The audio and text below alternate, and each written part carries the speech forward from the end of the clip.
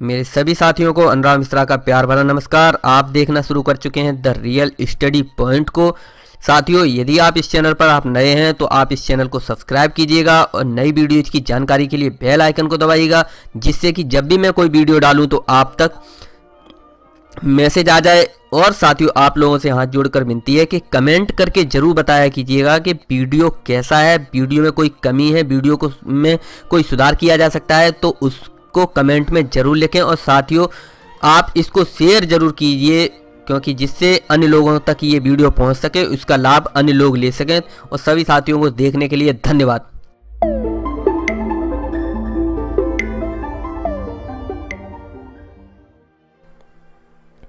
नमस्कार साथियों, मैं हूँ अनुराग मिश्रा, आप लोगों का इस वीडियो क्लास में एक बार फिर स्वागत है। हम लोग जो अध्ययन कर रहे हैं, वो है आधुनिक भारत का इतिहास। आधुनिक भारत के इतिहास में हम कंप्लीट कर चुके हैं करीब करीब 77 चैप्टर्स ठीक है? तो आइए सबसे पहले हम देख लेते हैं हम क्या क्या पढ़ रहे हैं। तो आधुनिक भारत के इतिहास में हम लोग जो अध्ययन कर रहे हैं वो है भारत का स्वतंत्रता संघर्ष। और भारत के स्वतंत्रता संघर्ष से संबंधित हम कंप्लीट कर चुके हैं ट्वेंटी चैप्टर्स और ये है आपका ट्वेंटी ठीक है? तो शुरू करने से पहले, सबसे पहले हम बात करेंगे इससे पहले वाले चैप्टर में हमने क्या पढ़ा था। तो इसमें हमने असहयोग आंदोलन की पृष्ठभूमि के बारे में पढ़ा और इसके कारणों के बारे में पढ़ा। प्रथम विश्व युद्ध का प्रभाव क्या पड़ा था? इस कारण संयुक्त आंदोलन शुरू हुआ। रूस की क्रांति, ठीक है? विश्व युद्ध के बाद भारतीय सैनिक भारत लौट कर आते हैं। गांधी जी के प्रारंभिक सत्याग्रहों का प्रभाव पड़ा था, ठीक है? रॉलेट सत्याग्रह, ठीक है? इसके बाद जलियांवाला बाग हत्याकांड था इसके बाद आयोग की सिफारिशें उन्नीस सौ उन्नीस में मोन्टेंगी चैम्सफोर्ड सुधार से निराशा। खिलाफत आंदोलन का मुद्दा था तो कांग्रेस लीग समझौते के कारण आंदोलन के लिए अनुकूल परिस्थिति या कहें, अनुकूल वातावरण इसी में हमने पढ़ा, आगे देखते हैं। इसी में हमने पढ़ा, असहयोग आंदोलन की शुरुआत। सितंबर 1920 में कलकत्ता में लाजपत राय की अध्यक्षता में एक विशेष अधिवेशन बुलाया गया, जिसमें कई नेताओं ने विरोध के बावजूद असहयोग आंदोलन को मंजूरी दे दी। इसी में हमने पढ़ा था कि दिसंबर 1920 के नागपुर अधिवेशन में इस प्रस्ताव को विधिवत रूप से मंजूरी दे दी जाती है। इसी में हमने पढ़ा कि इस प्रस्ताव इसका प्रस्ताव गांधी जी ने तैयार किया था, जबकि इसको पेश किसने किया? सी आर दास यानी चितरंजन दास ने। असहयोग आंदोलन की शुरुआत खिलाफत पार्टी की तरफ़ से एक अगस्त को की गई थी। इसी दिन भारत के लोगों पर दुखों के पहाड़ टूट जाते हैं, यानी कि गांधी अगस्त को एक, यानी कि एक अगस्त को तिलक की मृत्यु हो जाती है। ठीक है? इसी में हमने पढ़ा इसी में हमने पढ़ा, असहयोग आंदोलन के कार्यक्रम क्या क्या थे? वकीलों ने वकालत छोड़ दी थी, जिसमें Deshbandhu Chittaranjan Das C R Das, Motilal Nehru, Rajendra Prasad Saifuddin Kitchlew, C Rajagopalachari Sardar Vallabh Bhai Patel T प्रकाशम और आसफ अली जैसे लोग शामिल थे। पूरे देश में विदेशी कपड़ों की होलियाँ चलाई गईं। असहयोग आंदोलन के तहत दो तरह के कार्यक्रम बनाए गए थे, जिनमें सबसे पहला कार्यक्रम था सरकारी, सरकार विरोधी कार्यक्रम और दूसरा कार्यक्रम था रचनात्मक कार्यक्रम, ठीक है? इसी में हमने पढ़ा था, आइए देखते हैं। इसमें हमने पढ़ा था असहयोग आंदोलन का अलग अलग राज्यों में क्या क्या प्रभाव पड़ा। पंजाब में वो प्रसार और राज्यों में किस किस ने नेतृत्व किया था? तो पंजाब में लाला लाजपत राय ने, राजस्थान में मोती लाल तेजापत के नेतृत्व में भीम, भील आंदोलन किया था। बम्बी प्रेसिडेंसी में दौलत राम ने मद्रास में बर्किंग बर्किंगहम कर्नाटक टेक्सटाइल बर्किंगहम तथा कर्नाटक टेक्सटाइल मिल मजदूरों ने चार माह तक लंबी हड़ताल की। आंध्र प्रदेश क्षेत्र में आंदोलन मज़बूत रहा। यहाँ पर कोंडा वेंकटैया, ए कालेश्वर, राव, टी प्रकाशम जैस और पट्टावी सीतारामैया जैसे लोग शामिल थे। बंगाल में सी आर दास के अनुयायियों ने वीरेंद्रनाथ वीरेंद्रनाथ, मिदनापुर में जे एम सेन गुप्ता चटगांव में और सुभाष चंद्र बोस ने कलकत्ता में इसका नेतृत्व किया। था संयुक्त प्रांत की बात की जाए तो यहाँ पर प्रथम स्थान रहा इस आंदोलन का। यहाँ पर जवाहरलाल नेहरू, पुरुषोत्तम दास टंडन, गणेश शंकर विद्यार्थी, गोविंद वल्लभ पंत पंत लाल बहादुर शास्त्री ने नेतृत्व किया था। संयुक्त प्रांत में बुद्धिजीवियों पर भी गहरा प्रभाव पड़ा जिनमें थे सबसे प्रमुख अगर थे वो थे मुंशी प्रेमचंद। के उपन्यास प्रेमाशय उन्नीस सौ इक्कीस में और रंगभूमि उन्नीस सौ पच्चीस में इसके बारे में चर्चा की गई थी। ठीक है? इसी में हमने पढ़ा, इसमें हमने पढ़ा असहयोग आंदोलन तथा समाज के विभिन्न वर्ग, श्रमिक वर्ग और मजदूर वर्ग। इस समय तीन सौ छिहत्तर हड़तालें की गई थीं। स्वामी विश्वानंद तथा स्वामी दर्शानंद ने झरिया खदान क्षेत्र में खनिज मजदूरों को इकट्ठा किया था। कृषक वर्ग के बारे में हमने बात की। अवध के दक्षिण और दक्षिण पूर्व में फैजाबाद, प्रताप प्रतापगढ़, सुल्तानपुर बाबा ने बाबा रामचंद्र के नेतृत्व में किसान विद्रोह किया गया था। ठीक है? इसी में हमने पढ़ा था शिक्षित वर्ग के बारे में। शिक्षित शिक्षा के क्षेत्र में असहयोग आंदोलन को सबसे अधिक सफलता मिली थी। देश भर में Acharya Narendra Dev C R C R Das, Lala Lajpat Rai, Zakir Hussain, Subhash Chandra Bose के नेतृत्व में कई राष्ट्रीय शिक्षण संस्थान खोले गए। देश के कई वकीलों ने वकालत छोड़ दी थी, जिसमें से Motilal Nehru C R Das, Jawaharlal Nehru, C Rajagopalachari Saifuddin Kitchlew Vallabh Bhai Patel और आसफ अली जैसे लोग और टी प्रकाशन और राजेंद्र प्रसाद जैसे लोग शामिल थे। गांधी जी ने कैसर हिंद की उपाधि त्याग दी थी तथा जमुना लाल या जमुना लाल बजाज ने अपनी राय बहादुर की उपाधि त्याग दी थी। ठीक है? इसका चौरा चौरी कांड तथा असहयोग आंदोलन के स्थगन की बात की जाए, स्थगन की बात की जाए तो पाँच फरवरी को उन्नीस, पाँच फरवरी उन्नीस सौ बत्तीस को संयुक्त प्रांत में गोरखपुर ज़िले में चौरी चौरा नामक गाँव में खिलाफत तथा कांग्रेस के लोगों का एक जुलूस निकाला गया था। ठीक है? इसी में हमने पढ़ा था, इस आंदोलन का नेतृत्व भगवान अहिर ने किया था। असहयोग आंदोलन की उपलब्धियों के बारे में हमने जाना। इस आंदोलन में पहली बार देश की जनता को इकट्ठा किया था। पहली बार एक साथ किसान मजदूर, दस्तकार, व्यापारी कर्मचारी, पुरुष, महिला, बच्चे, बूढ़े सभी लोगों ने भाग लिया था। इसने आने वाले समय के लिए संघर्ष की पृष्ठभूमि तैयार की थी। ठीक है? तो आगे बढ़ते हैं। अब हम बात करते हैं चैप्टर नंबर सेवेंटी एट के। तो इसमें हम जो हम बात कर रहे हैं वो है भारतीय राष्ट्रीय आंदोलन का दूसरा चरण के बारे में। ये है आपका 1935 से ले 1915 से लेकर 1935 तक का समयकाल और ये दूसरे चरण का नौवा वीडियो है। इसमें जो हम बात करेंगे वो होगा स्वराज पार्टी के बारे में, ठीक है? तो आइए सबसे पहले हम बात कर लेते हैं, इस चैप्टर में हम पढ़ेंगे क्या क्या तो हम लोग जो पढ़ने वाले हैं वो है, असहयोग आंदोलन के बाद राजनीतिक स्थिति। उसमें हम क्या क्या पढ़ेंगे, ये देख लेते हैं, एक नज़र डाल लेते हैं। स्वराज पार्टी के बारे में साइमन कमीशन के बारे में, नेहरू रिपोर्ट के बारे में और कांग्रेस कांग्रेस का लाहौर अधिवेशन। तो ये चार चैप्टर होंगे, ठीक है? या हो सकता है दो या तीन हो सकते हैं। तो इसमें जो हम बात करने वाले हैं वो है स्वराज पार्टी के बारे में। तो इसमें हम जो बात करेंगे 1922 में जब गांधी जी के द्वारा जब असहयोग आंदोलन समाप्त कर दिया गया था तो गांधी जी को गिरफ़्तार कर लिया और इसके बाद देश व्याप, देश, इसके बाद देश में देश के जो राजनीतिक वातावरण था, देश का जो राजनीतिक वातावरण था उसमें एक निराशा का माहौल पैदा हो गया था। इसमें हम बात करेंगे, इसी बीच भारत इसी बीच भारत सरकार अधिनियम 1919 लाया गया था।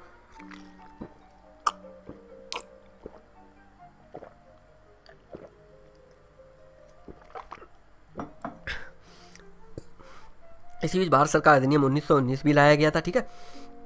इस अधिनियम के तहत विधान मंडलों में विधान मंडलों में चुनाव होने थे, ठीक है?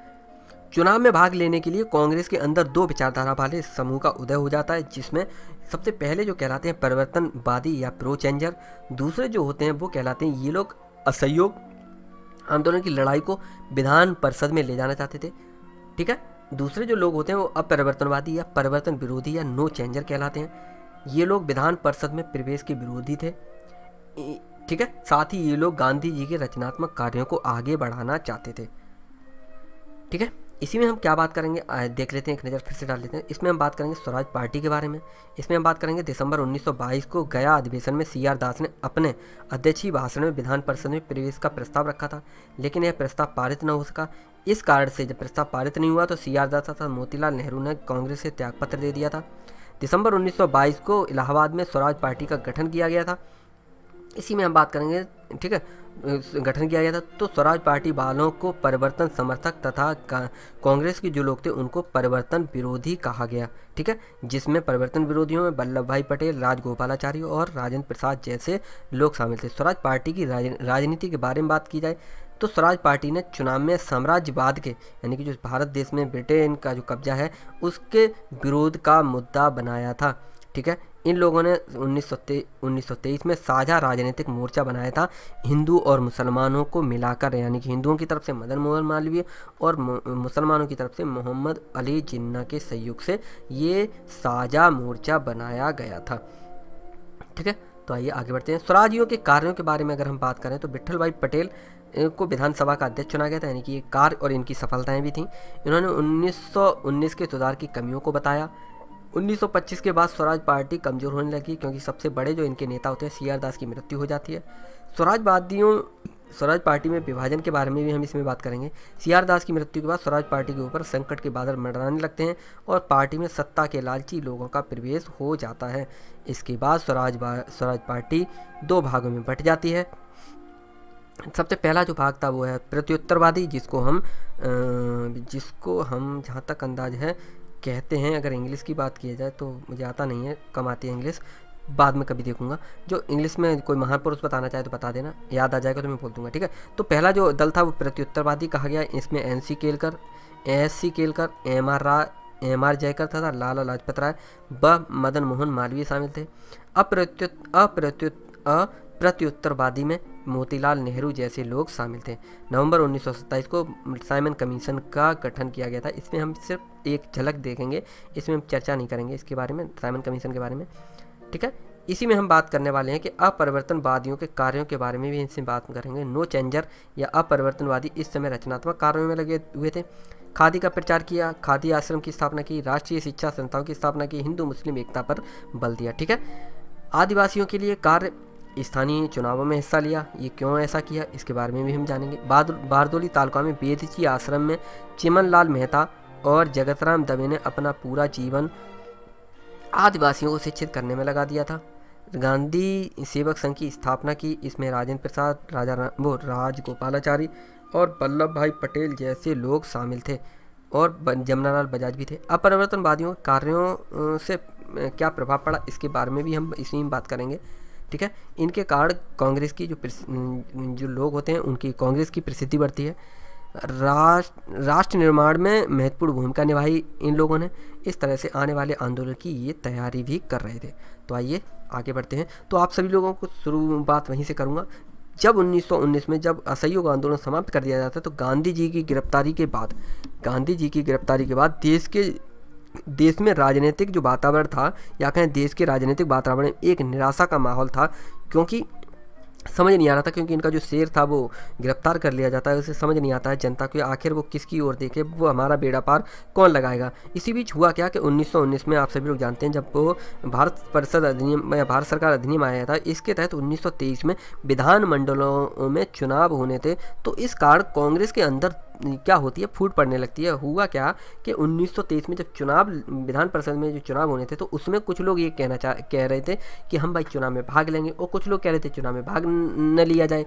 तो मैंने क्या बताया? इसके तहत उन्नीस सौ तेईस में विधानमंडलों में चुनाव होने थे। तो इसी कारण कांग्रेस के अंदर ही दो विचारधारा वाले समूहों का उदय होने लगता है, जिसमें नंबर एक की बात अगर की जाए तो नंबर एक था उसमें परिवर्तनवादी या प्रो चेंजर ये लोग असहयोग आंदोलन की लड़ाई को विधान परिषद में ले जाना चाहते थे। दूसरे अगर दूसरे की अगर बात की जाए, दूसरे दल की बात तो वो अपरिवर्तनवादी पहला दल कौन सा था? परिवर्तनवादी। दूसरा था अपरिवर्तनवादी। ठीक है? तो अपरिवर्तनवादी जिसको नो चेंजर कहा गया, परिवर्तनवादी को प्रो चेंजर और अपरिवर्तनवादी या परिवर्तन विरोधी को नो चेंजर कहा गया। ठीक है? ये लोग विधान परिषद में प्रवेश के विरोधी थे। साथ ही गांधी जी के रचनात्मक कार्यों को ये आगे बढ़ाना चाहते थे। रचनात्मक कार्यक्रम कौन कौन से एक नज़र में बोल देता हूँ। सबसे पहले की अगर बात की जाए, खादी को लोकप्रिय बनाना, शराबबंदी के समर्थन में अभियान चलाना, राष्ट्रीय स्कूलों की स्थापना करना, हिंदू, मुस्लिम एकता पर बल देना, अस्पृश्यता यानी की छुआछूत की समाप्ति पर बल देना, ये इनके रचनात्मक कार्य थे, ये इस पर बल देना चाहते थे। तो हम सबसे पहले इसमें अगर बात करेंगे तो वो होगा स्वराज परिवर्तनवादियों के बारे में। तो परिवर्तनवादियों ने किसकी स्थापना की थी? स्वराज पार्टी की। किस लिए की थी? विधान परिषद में, विधान परिषद में जो होने वाले चुनाव में भाग लेने के लिए, ठीक है? तो हुआ क्या कि दिसंबर 1922 को गया में गया में एक अधिवेशन होता है, जिसके अध्यक्ष चुने जाते हैं सी आर दास यानी कि चित्ररंजन दास। तो चित्ररंजन दास जब अपना अध्यक्षी भाषण शुरू करते हैं तो उन्होंने कहा अध्यक्षी भाषण में एक प्रस्ताव पेश करते हैं। प्रस्ताव क्या था कि विधान परिषद में प्रवेश का प्रस्ताव था। इनका मानना था कि असहयोग आंदोलन वापस ले लेने से जो भारतीय जनता है, वह हीन मनोबल का शिकार हो गई है। वह समझ नहीं पा रही है कि हमारा बेड़ा पार कौन करेगा, क्योंकि एक समय उन्हें ऐसा लग रहा था कि गांधी जी जो हैं, वो बेड़ा पार कर देंगे, लेकिन अब उन्हें ऐसा लगता है कि हम फिर से उसी अंधेरे में चले जाएँगे। तो इस कारण से लोग हीन भावना का शिकार हो गए हैं। लेकिन वह इनका मानना था कि अगर विधान परिषद के चुनाव में भाग लेंगे तो असहयोग आंदोलन की जो लड़ाई है, उसको विधान परिषद के ज़रिए से कंटिन्यू या कहें, जारी रख सकते हैं। तो जैसे ही सी आर दास ने ये प्रस्ताव पारित किया सी आर दास ने बहुत सॉरी प्रस्ताव पारित नहीं किया, प्रस्ताव जैसे ही सी आर दास ने ये पेश किया तो हुआ क्या कि ये प्रस्ताव इनका विचारों का पारित नहीं हो सका। जब प्रस्ताव पारित नहीं हुआ तो सी आर दास और मोतीलाल नेहरू ने कांग्रेस से त्यागपत्र दे दिया। और दिसंबर 1922 को इलाहाबाद में स्वराज पार्टी का गठन किया। ठीक है? वैसे मुझे कहीं कहीं डेट मिलती है जनवरी 1923 और मार्च 1923 तो कोई महापुरुष बताना चाहे, जस्ट अभी कमेंट करके कि ये डेट सही है। वैसे मेरा मानना है दिसंबर 1922 को ही इलाहाबाद में स्वराज पार्टी का गठन किया गया था। ठीक है? तो वैसे तो इन इसका नाम शुरू में जो स्वराज पार्टी था, उसका नाम रखा गया था कांग्रेस खिलाफत स्वराज पार्टी। लेकिन बाद में स्वराज पार्टी रख दिया गया, क्योंकि लोगों ने थोड़ा विवाद किया यार, क्या तरीका ये? ऐसे तो अपने लोगों की बेजती होगी ना, कि कल तो तुम उधर खिचड़ी खा रहे थे, अब भाई साहब उधर खिचड़ी बुरी लगने लगी तो अपने पापा को या तो पापा कह दो या फिर बाद में दो ही चीज़ें होती हैं। अब तुम छोड़ो, इसके बारे में मैं चर्चा नहीं करूँगा टॉपिक थोड़ा गलत में चला जाएगा, वो बाद में मैं बताऊँगा, क्योंकि एग्ज़ाम्पल मेरा थोड़ा खतरनाक हो जाता है कभी कभी तो मैंने क्या बताया, इन लोगों को समझाया बुझाया तो इनने माना ये लोग राज़ी हो जाते हैं और इस पार्टी का नाम स्वराज पार्टी रख लेते हैं, ठीक है? तो इसके बाद जो स्वराज पार्टी वाले जो लोग थे, वो परिवर्तन समर्थक या परिवर्तनवादी कहलाए और जो कांग्रेस में जो लोग रह जाते हैं, वह परिवर्तन विरोधी या अपरिवर्तनवादी कहलाए, ठीक है? तो परिवर्तनवादी में अगर प्रमुख लोगों की बारे में जाने तो सबसे पहले जो व्यक्ति आते हैं, वो सी आर दास यानी चितरंजन दास थे और दूसरे व्यक्ति जो थे वो थे मोतीलाल नेहरू। ठीक है? तो परिवर्तन विरोधी की बात की जाए तो इसमें जो प्रमुख नेता थे, राजेंद्र प्रसाद, राजगोपालाचार्य और वल्लभ भाई पटेल। ठीक है? इसके बाद हुआ क्या कि मार्च 1923 में स्वराज पार्टी का पहला अधिवेशन होता है, कहाँ पर होता है? कलकत्ता में। वो सॉरी, इलाहाबाद में। इलाहाबाद में आपको दिखा दे रहा हूँ, सुंदर रमणीय दर्शन में आपके कराए दे रहा हूँ मैं। इलाहाबाद की ये है आपका, इलाहाबाद यहाँ पर उत्तर प्रदेश, ये है लखनऊ लखनऊ के नीचे, ठीक नीचे, ये आप देख सकते हैं, इलाहाबाद। ठीक है तो इलाहाबाद में स्वराज पार्टी का पहला अधिवेशन मार्च उन्नीस सौ तेईस को हुआ। जब इन लोगों ने अपनी स्वराज पार्टी की स्थापना कर ली, और उसके बाद सितंबर 1923 में दिल्ली में मौलाना अबुल कलाम आज़ाद की अध्यक्षता में दिल्ली में एक अधिवेशन होता है। इस अधिवेशन में, इस अधिवेशन में कांग्रेस के कार्यकर्ताओं को व्यक्तिगत रूप से चुनाव लड़ने तथा मतदान का अधिकार दे दिया। यानी कि ऐसा था कि जब बात विवाद ज़्यादा बढ़ रहा था, लोगों को ऐसा लग रहा था, कांग्रेस के जो लोग थे, उन्हें लग रहा था कि यार हमारे जो बड़े बड़े नेता हैं, मोतीलाल नेहरू बहुत जाने पहचाने व्यक्ति थे सी आर दास बहुत गजब के नेतृत्व करता थे। तो जब ऐसे लोग बाहर जा रहे थे तो इन्हें लगा कि ऐसा न हो कि बहुत कमज़ोर हो जाए कांग्रेस। तो कांग्रेस कमज़ोर न हो जाए, कांग्रेस पर किसी भी तरह की आँच न आए। इस कारण से मौलाना अबुल कलाम आज़ाद की अध्यक्षता में जो 1923 में सितंबर में दिल्ली में जो अधिवेशन कराया गया, उसमें ये कह दिया गया कि आप अगर कांग्रेस में ही बने रहेंगे। लेकिन आप अगर व्यक्तिगत रूप से किसी पार्टी को या विधान परिषद में खड़े होना चाहते हैं, विधान परिषद में आप चुनाव में भाग लेना चाहते हैं या मतदान करना चाहते हैं तो आपको खुली छूट है, आपको पूरा अधिकार है। इससे पार्टी का कोई लेना देना नहीं हो ये नहीं कि पार्टी ने कहती है। आपका व्यक्तिगत रूप से आप हमारे मान लीजिए पड़ोस में हमारा बीजेपी का लड़का रहता है और हमारे सामने हमारे साइकिल वाले भैया रहते हैं तो साइकिल वाले भैया से हमारा संबंध भी है, हमारा बीजेपी वाले भैया से भी है और सामने एक हाथी वाला भैया भी रहता है जिसके बाद हाथी पला है तो हमारा हाथी वाले भैया से भी है। तो ये हमारा व्यक्तिगत रूप से है, लेकिन अब हम वोट डालने तो बीजेपी में जैसे जाएँगे तो हमारी कोई लड़ाई थोड़ी ना होगी। वो पार्टीबाजी वाली बात अलग है, लेकिन संबंध हमारे प्रेम, हमारा लोगों से, तीनों लोगों से उतना ही है। पार्टी में अगर कोई किसी में चला जाता है, हमारा उससे प्रेम कम नहीं होता है। तो यही इनका कहना था कि पार्ट, आप रहेंगे कांग्रेस आप अगर चुनाव लड़ना चाहते हैं, आप, वोट नहीं देना चाहते, आपको खुला छूट है। ठीक है? इधर क्या हुआ? इधर क्या हुआ? जैसे मतदान देने का और चुनाव लड़ने का अधिकार मिल जाता है। इधर क्या था कि, गांधी जी को छः वर्ष की, आप सभी लोग जानते हैं छः वर्ष की सज़ा दे दी जाती है। तो छः वर्ष की जब सज़ा होती है तो गांधी जी की होती क्या है?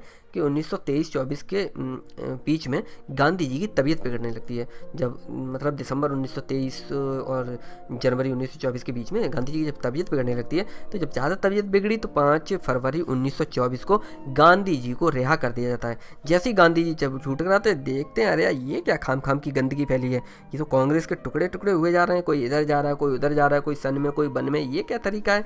गांधी जी ने समझाया कि ऐसा करो, सब लोगों को बुलाया, गांधी जी ने समझाया, बुझाया, लोगों से कहा, ऐसा करो, कांग्रेस में ही रहकर अलग अलग ढंग से काम करो, तुम्हें भाग लेना है जाके वहाँ चुनाव में। अरे यार, रहो कांग्रेस में, काम तो कांग्रेस के लिए ही करोगे, कहीं पर भी जाओगे, आंदोलन करना है, आंदोलन भी करो, रहोगे तो कांग्रेस के लिए, ऐसे तो हमारी बेजती होगी ना। हम लोग कमज़ोर दिखेंगे, कांग्रेस जब कमज़ोर दिखेगी तो आपका ब्रिटिश सरकार दौड़ा दौड़ा कर मारेगी। आप तो जानते ही हैं जब 1907 में सूरत विभाजन हो जाता तो जब इन्होंने इस तरह से समझाया, जब समझाया तो कांग्रेस में रहकर ही अलग अलग ढंग ढंग से काम करने का फैसला इन लोगों ने कर लिया।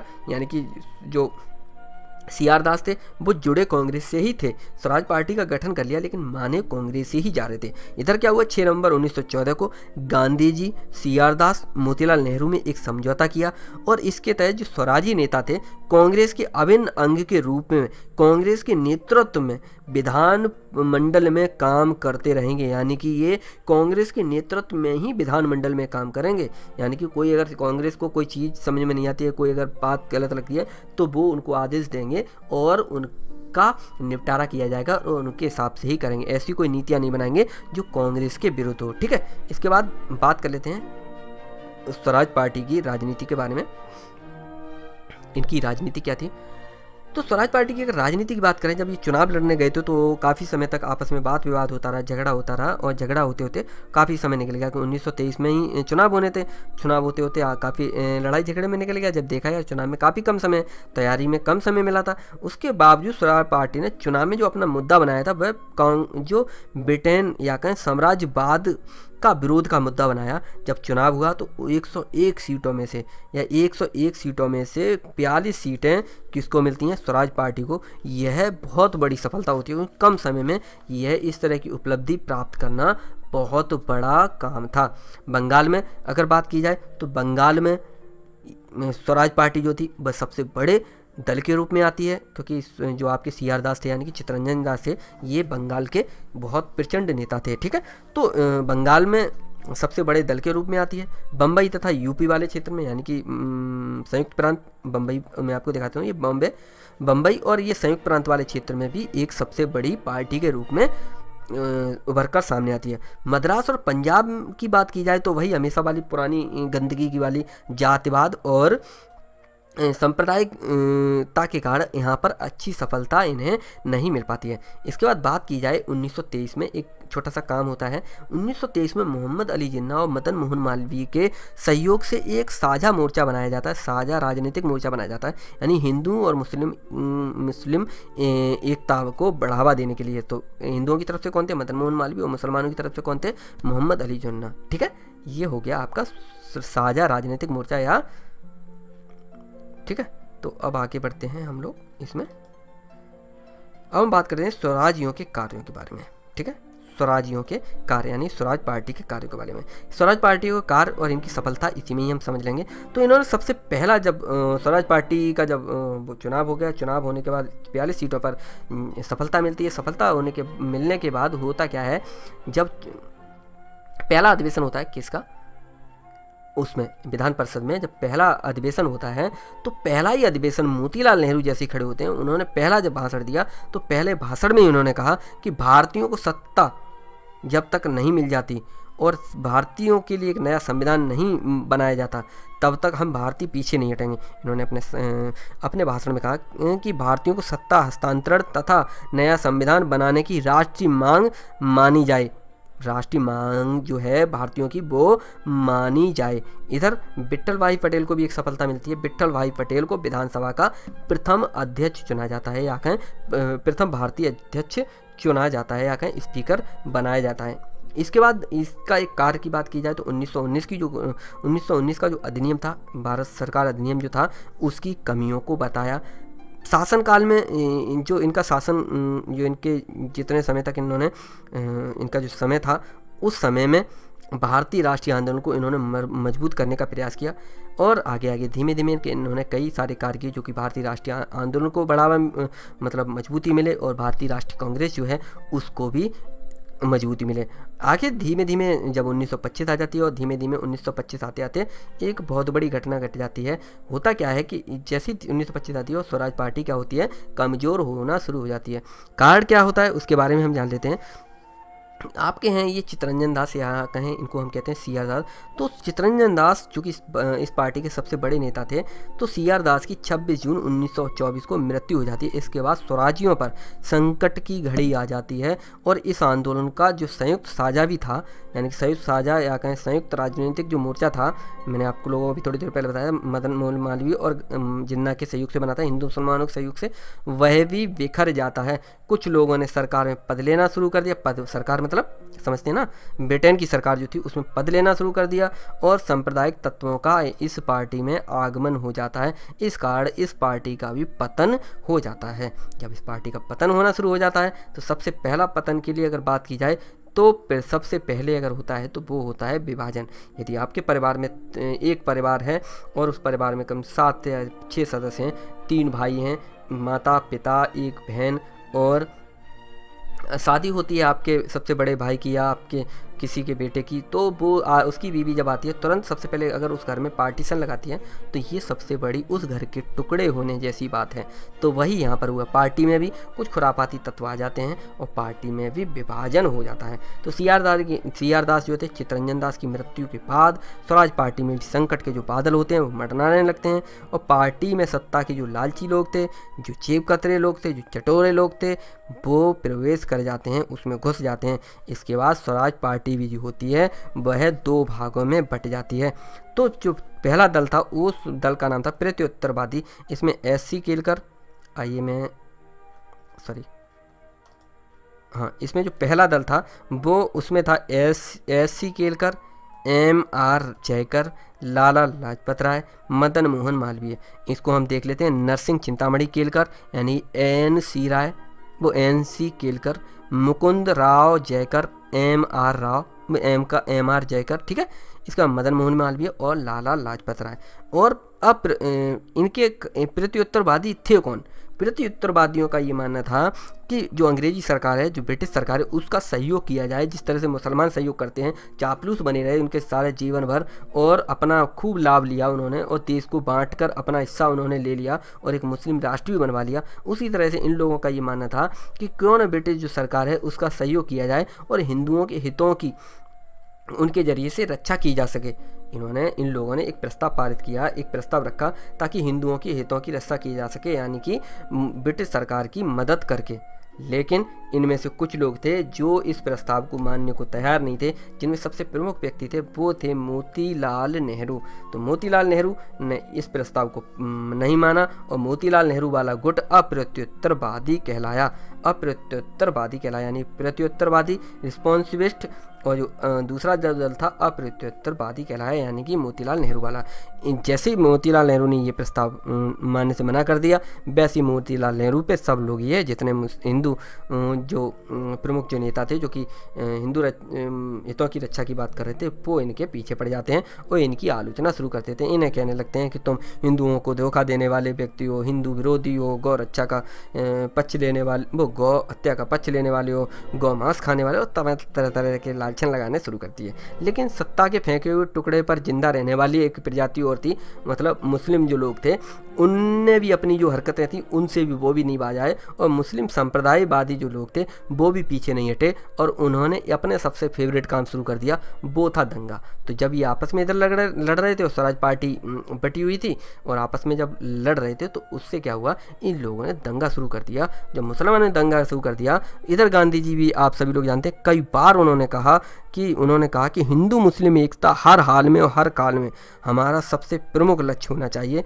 तो गांधी जी ने कई बार इस दंगे की स्थिति को सुधारने की कोशिश की।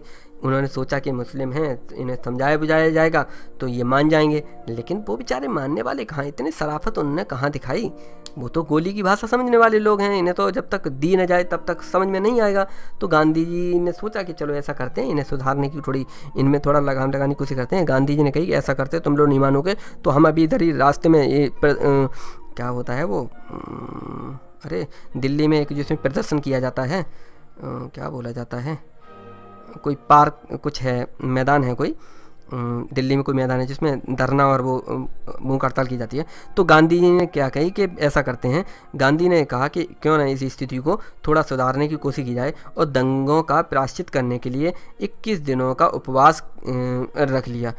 जैसे ही उपवास रखा, इनने कही, आप लोग दंगा बंद करते हो या फिर हमें उपवास रखें? उन लोगों ने कुछ नहीं मानी। एक, इक्कीस दिन जैसी दंगा रखा, वो सॉरी इक्कीस दिन का उपवास रखा, उससे भी कोई लाभ नहीं हुआ। उनने कही कि, तुम कल मरो तो आज मर जाओ, हमें कोई फ़र्क नहीं पड़ता, हम तो अपना एक ही काम करेंगे फेवरेट वाला। उनने अपना फेवरेट वाला काम किया। जब देश की स्थिति बहुत गंभीर हो गई, गांधी जी ने कही, तुम भी मर जाओ, हमें कोई मतलब नहीं। गांधी जी ने अपनी राजनीतिक जो वो था राजनीतिक जीवन से क्या किया और गांधी जी ने संन्यास ले लिया, ठीक है? और स्वराजी, आप सभी लोग जानते हैं, स्वराजी भी जो थे, वो इस समय बटे हुए थे और सांप्रदायिक जो थी, वो अपना काम बहुत ज़ोर शोर से कर रही थी। तो इस तरह से सब कुछ एकदम सन्नाटा छा जाता है, सब कुछ शांत हो जाता है और राष्ट्रीय आंदोलन का जो जनता थी, जो सच में कुछ करना चाहती थी, वो इंतज़ार कर रही थी और टकटकी बांधे लोगों की तरफ़ देख रही थी कि शायद कोई ऐसा नेता आए, शायद कोई ऐसा मौका आए जहाँ पर हम इस देश को फिर से अंधेरे से दूर निकालने की कोशिश करें। तो वह मौका आता है नवंबर 1927 को, जब साइमन कमीशन का गठन और भारत में वो आने वाला था। तो यही एक स्थिति थी जब भारत फिर से अंधेरे में से बाहर निकला और राजनीतिक, एक नए राजनीतिक युग का दौर शुरू हो जाता है और जिसको हम आने वाले वीडियो में चर्चा करेंगे। ठीक है? तो ये हो गया स्वराज पार्टी में विभाजन के बारे में। अब हम बात कर लेते हैं अपरिवर्तनवादियों के कार्यों के बारे में।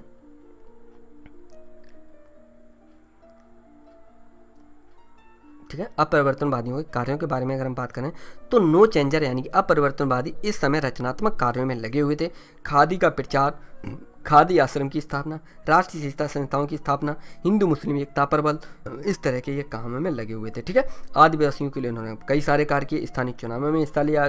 गांधी गांधी सेवक संघ की स्थापना की। इसमें राजेंद्र प्रसाद, राजगोपालाचार्य वल्लभ भाई पटेल जैसे लोग इसमें शामिल थे, ठीक है? तो आइए बात कर लेते हैं। तो मैंने क्या बताया, नो चेंजर इस समय रचनात्मक कार्यों में लगे थे। इन्होंने खादी का प्रचार खादी आश्रम की स्थापना, राष्ट्रीय शिक्षा संस्थाओं की स्थापना, हिंदू मुस्लिम एकता पर बल दिया, पिछड़ी तथा आदिवासी जो जातियाँ थीं, उनके लिए जीवन भर इन लोगों ने काम किए, ठीक है? राष्ट्र स्थानीय चुनावों में हिस्सा लिया। मैंने कहा कि जब चुनावों में हिस्सा नहीं लेना तो इनने स्थानीय चुनावों में क्यों लिया? अब भाई, स्थानीय चुनाव मतलब गाँव वाले क्षेत्र जो थे, इससे क्या होगा? जो गांधी जी के रचनात्मक कार्य हैं, उनको बढ़ावा मिलेगा। क्योंकि इस गाँव में रचनात्मक कार्यों की सबसे ज़्यादा ज़रूरत थी तो गांधी जी के जो रचना, रचनात्मक कार्य हैं, उनको बढ़ावा मिलेगा। इधर क्या था कि एक जगह थी बारदोली बारदोली तालुका, ठीक है? बता चुका हूँ, सूरत में एक जगह थी बार बारदोली तालुका में बारदोली तालुका में एक आश्रम बनाया, जिसका नाम रखा बेदची आश्रम। तो बेदची आश्रम में चिमन मेहता और जगतराम दमी ने अपना पूरा जीवन आदिवासियों को शिक्षित करने में अपना पूरा जीवन ये लोग लगा देते हैं। इस समय ये सर्व सेवा संघ, यही आपका इस टाइम पे, इस टाइप का एक आश्रम मान लो बेदची आश्रम, ठीक है? गांधी ठीक है? बेदची आश्रम, ठीक है? इसके बाद आगे बात करते हैं, इसके बाद बात करते हैं अपरिवर्तनवादियों के कार्यों से प्रभाव क्या पड़ा, ठीक है? उनके बारे में हम थोड़ा सा बात करेंगे, लेकिन एक छोटा सा पॉइंट रह जा रहा है, अपरिवर्तनवादियों के कार्यों के बारे में। तो गांधी सेवक संघ की स्थापना की, इसमें राजेंद्र प्रसाद प्रसाद राजगोपालाचारी वल्लभ वल्लभ भाई पटेल और जमनालाल बजाज थे। तो ये सेवक संघ आप लोग देख रहे हैं ना, ये इस तरह से, इस तरह का सेम इसी तरह का ये सेवक संघ था, यानी कि एक तरह से आप मान सकते हैं इसको आश्रम, ठीक है? सेवाग्राम चिला बरदा ठीक है? इस तरह से। तो इस तरह के जो सेवक संघ थे, सेवा संघ या सेवक संघ तो इस तरह के ये हुआ करते थे, आश्रम हुआ करते इनमें अपना काम स्वयं करना होता है, यानी कि जितना भी जो भी तरह का काम है, वो अपना काम स्वयं करना होगा, ठीक है? अपरिवर्तनवादियों ने जो कार्य किए, उनका प्रभाव क्या पड़ा, उनके बारे में हम एक नज़र डाल लेते हैं। इनके कारण कांग्रेस की प्रसिद्धि बढ़ी, राष्ट्र निर्माण में महत्वपूर्ण इन लोगों ने भूमिका निभाई। इस तरह से आने वाले आंदोलनों की ये तैयारी कर रहे थे, यानी कि फालतू नहीं बैठे थे, कोई फालतू का खुरापात नहीं कर रहे थे। तो इस तरह से ये आपका स्वराज पार्टी का चैप्टर हो जाता है समाप्त। अगले वीडियो में मिलते हैं। तब तक के लिए नमस्कार, जय हिंद, वंदे मातरम।